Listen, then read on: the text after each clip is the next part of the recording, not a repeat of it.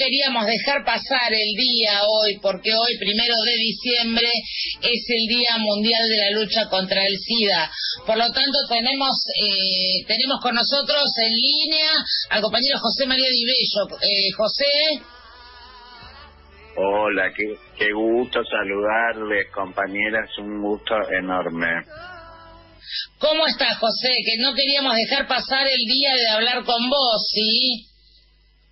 Bien, acá, un, día con mucha radio, te voy a decir, porque vengo todo el día de estar dando notas en distintas radios, pero me encanta poder estar hablando con, con ustedes.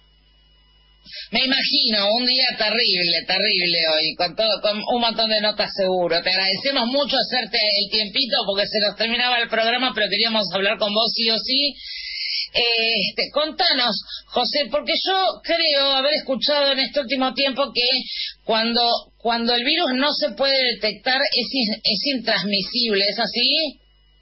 Es así, es algo que hace mucho tiempo que sabemos, pero que más fuertemente se está poniendo en agenda, digamos, desde el año 2016, cuando efectivamente varias investigaciones concluyeron que, eh, digamos, lo que nosotros veníamos sabiendo es que cuando baja la carga viral, es decir, la cantidad de virus en sangre, el potencial de transmisión disminuye. Y bueno, cuando estás indetectable, es decir, cuando ya bajó tanto la carga viral porque estás tomando tus antirretrovirales, que son los medicamentos para tratar el VIH, eso hace que no tengas la suficiente potencialidad de transmisión, es decir, que no tenga eh, tus fluidos las cargas necesarias para poder transmitirlo y por eso es este, indetectable, intransmisible. Y lo fundamental de este dato y de esta campaña que instalado a nivel mundial tiene que ver con ayudar y contribuir a bajar el estigma y la discriminación asociados al VIH.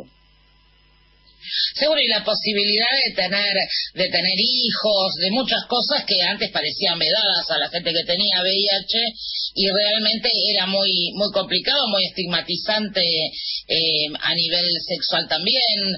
Eh, o sea, hoy tenemos otra perspectiva.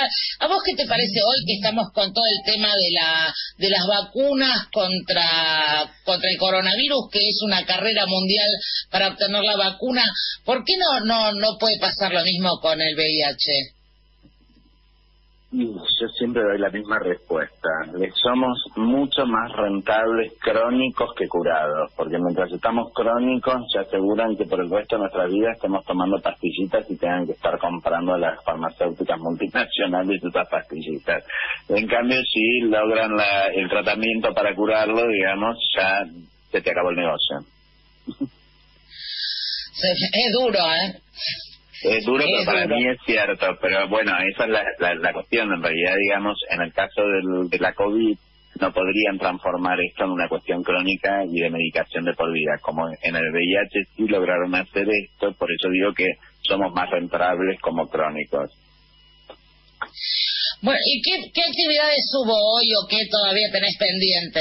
¿Todavía Zoom? ¿Cómo, cómo se, se programó el día? Bueno, eso, eso ni que hablar, pero en realidad nosotros empezamos ayer y ayer a la noche, eh, no sé si ustedes se enteraron, pero el Congreso estuvo iluminado de rojo y además de estar iluminado de rojo, hemos hecho un mapping donde se proyectó en la fachada del, Congreso eh, una serie de datos y de reclamo para que finalmente traten la ley de VIH, hepatitis, tuberculosis y ITS, que hace seis años que venimos trabajando, que durante la gestión macrista la presentamos en el 2016 y en el 2018 y perdió estado parlamentario en ambas presentaciones, y ahora la volvimos a presentar el 25 de septiembre en la Cámara de Diputados con firma de más de 30 diputados de todos los bloques partidarios, este, pero todavía no logramos ni siquiera que haya habido una reunión informativa en la Comisión de Salud, así que estamos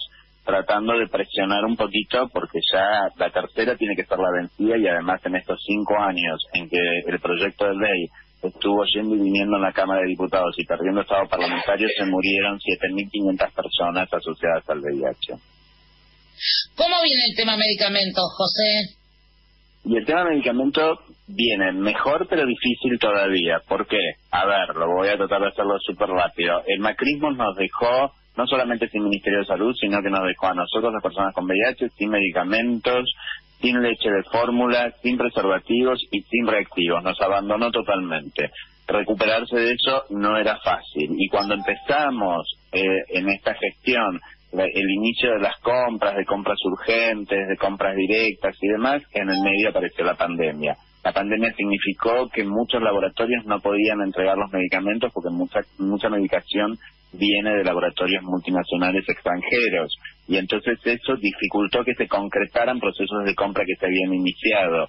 Eh, por otro lado, el tema de la, del aislamiento obligatorio significó en los primeros meses de aislamiento obligatorio que muchas personas no podían salir de sus casas para ir a los hospitales a buscar los tratamientos en las farmacias de los hospitales y una vez que logramos un permiso especial, que lo gestionamos con el Ministerio de Salud y que logró sacar un permiso especial para nosotros, muchas personas, igual por el temor de tener que ir a una institución hospitalaria, este, preferían no hacerlo, con lo cual esto ha generado también situaciones de eh, abandonos de tratamientos, de fallos, hay muchos factores que se han conjugado. No hemos logrado todavía eh, recuperar este, con este año tan difícil que hemos tenido el estándar de, de la planificación y el stock de compras suficientes. Sí estamos mucho mejor al año pasado y a los años de la gestión macrista, pero todavía tenemos que seguir avanzando en esto.